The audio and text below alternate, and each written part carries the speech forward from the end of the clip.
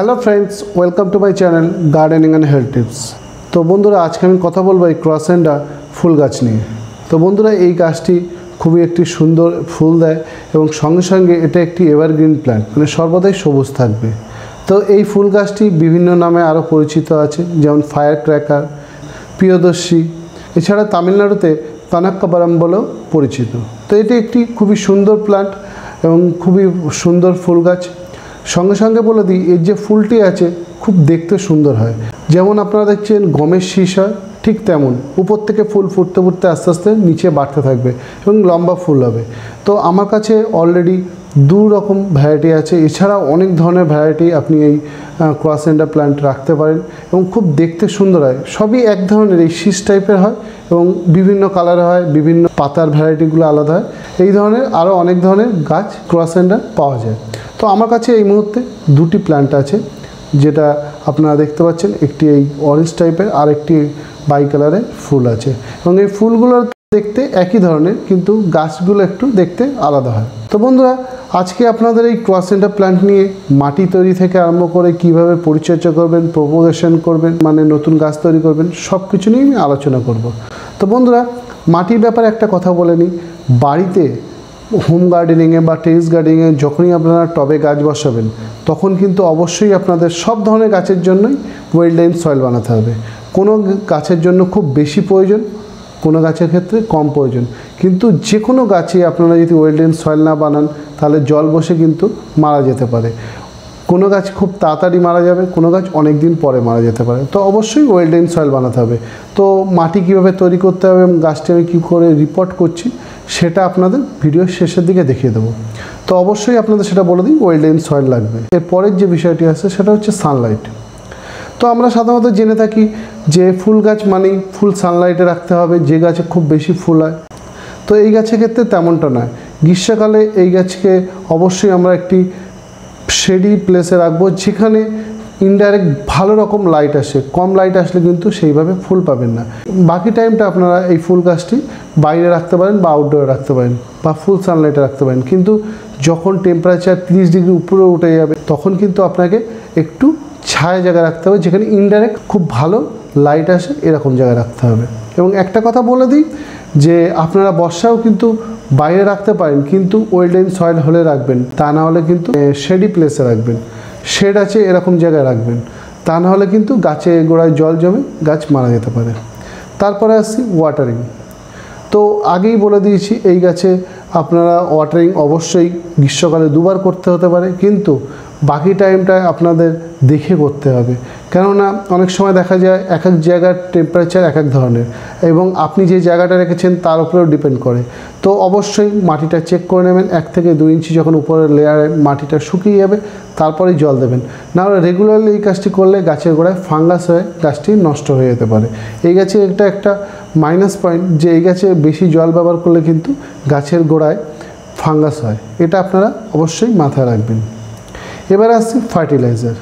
তো ফার্টিলাইজারের ক্ষেত্রে আপনাদের বলব, আমি আগে একটি মিশ্র সার বানানো আপনারা দেখিয়ে নিয়েছিলাম। সেটা যদি আপনারা বাড়িতে বানিয়ে দেন, তাহলে কিন্তু এই গাছে দু মাস অন্তর যদি গাছে একবার করে দিয়ে দেন, তাহলে কিন্তু গাছে অন্যান্য যদি খাবার আপনারা নাও দিয়ে থাকেন, তাতেও কিন্তু গাছে প্রচুর পরিমাণে ফুল পাবেন এবং সঙ্গে সঙ্গে গাছটি সবুজ থাকবে। তো এই মিশ্র সারটি আমি কীভাবে বানিয়েছিলাম, কীভাবে ব্যবহার করতে হবে, তার যে ভিডিওটা আমি বানিয়েছিলাম, তার লিঙ্ক আমি ডেসক্রিপশনে দিয়ে দেবো এবং সঙ্গে কার্ডেও দিয়ে দেবো। আপনারা ওপরে আই বাটনে দেখে নিতে পারেন।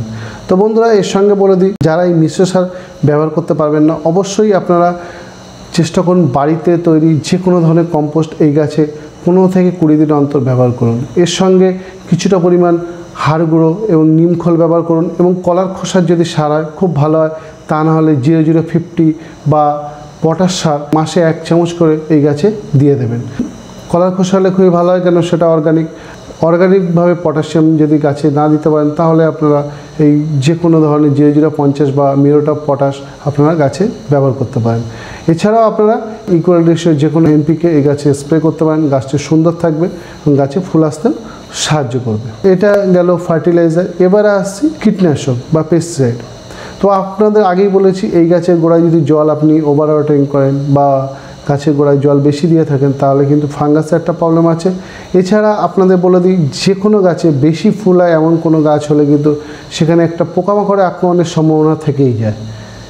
তো আগের থেকে প্রিভেনশনের জন্য আপনারা অবশ্যই গাছে নিম তেল পনেরো দিন অন্তর ব্যবহার করতে পারেন। তাহলে আপনার গাছে পোকামাকড় আক্রমণ হবে না এবং গাছটি সবসময় সুন্দর থাকবে। আর যদি দেখেন যে আপনার গাছে পোকামাকড় আক্রমণ হয়ে গেছে, নিম তেল ব্যবহার করবেন। এছাড়াও আমি অর্গানিক অনেক কীটনাশক বানিয়েছি এবং ভিডিও আমার চ্যানেল আছে, সেগুলো দেখে ব্যবহার করতে পারেন এবং খুব বেশি বাড়াবাড়ি হয়ে গেলে আপনারা কেমিক্যাল পেস্টিসাইডও ব্যবহার করতে পারেন। কিন্তু আমি হোম গার্ডেনিং বা টেরিস গার্ডেনিংয়ে কেমিক্যাল পেস্টিসাইড ব্যবহার করতে আমি বারণ করি, কেননা এটা স্বাস্থ্যের জন্য খুবই ঝুঁকিপূর্ণ। তো বন্ধুরা, এরপরে আসছি প্রোপোগেশন প্রোপোগেশন কিন্তু খুবই সহজ এই গাছের। এই গাছ যদি কাটিং নিয়ে আপনি বর্ষাকালে বসিয়ে দেন, সহজেই হয়ে যাবে যে কোনো ধরনের মাটিতে বা বালিতে। তো অবশ্যই প্রোপোগেশনটা এই গাছের একটা খুব সুন্দর দিক, যে খুব ইজিলি হয়ে যায়। তো আপনারা চেষ্টা করবেন বাড়িতে প্রোপোগেশন করে আরও নতুন গাছ বানিয়ে অন্যকেও গিফট করতে পারেন বা নিজের গার্ডেনেও রাখতে পারেন। এরপরে আসছি প্রুনিং। প্রুনিং অবশ্যই টেরিস গার্ডেনিংয়ে খুবই জরুরি। গাছের হাইটটাকে একটা লিমিটেড রাখতে হয়। আর এবং গাছটিকে ঝাঁকড়ালো করতে গেলে অবশ্যই প্রুনিং করতে হবে এবং বেশি ব্রাঞ্চ হবে। যত প্রুনিং করবেন, বেশি ব্রাঞ্চ হবে। তো প্রুনিংটা আপনারা করবেন যখন আমরা শীত থেকে গরমে প্রবেশ করছি, এরকম সময় আমরা যদি গাছের প্রুনিংটা ঠিকঠাকভাবে করে দিই, তাহলে প্রচুর পরিমাণে ব্রাঞ্চ পাবো গ্রীষ্মে এবং প্রচুর পরিমাণে ফুল পাবো। অবশ্যই শীতের শেষে আমরা প্রুনিংটা করব। তো বন্ধুরা, এবার চলুন আপনারা দেখিয়ে দিই কীভাবে আমি গাছটিকে রিপোর্ট করেছি এবং কী ধরনের মাটি নিয়েছি। তো এখানে মাটি আমি ফিফটি পার্সেন্ট নিয়েছি এবং টোয়েন্টি ফাইভ পার্সেন্ট স্যান্ড নিয়েছি এবং টোয়েন্টি ফাইভ পার্সেন্ট কম্পোস্ট নিয়েছি ভার্মি কম্পোস্ট আছে। এবং এর সঙ্গে আমি কিছুটা পরিমাণে নিমখোল এবং কিছুটা পরিমাণে হাড়গুঁড়ো ব্যবহার করেছি। তো অবশ্যই নিমখোল হাড়গুঁড়োটা ব্যবহার করবেন গাছের মাটির জন্য। এছাড়া নিমখোল গাছের গোড়ায় ফাঙ্গাস এবং অন্যান্য পোকামাকড় থেকে আপনাদের বাঁচাবে। তো অবশ্যই আপনারা এই ধরনের ওয়েলডেন সয়েল বানাবেন এবং যদি আপনার মাটিতে বালির ভাগ কম থাকে বা যদি আপনার মাটি এঁটেল মাটি হয়ে থাকে, তাহলে বালির পরিমাণ কিছুটা অবশ্যই বাড়িয়ে দেবেন।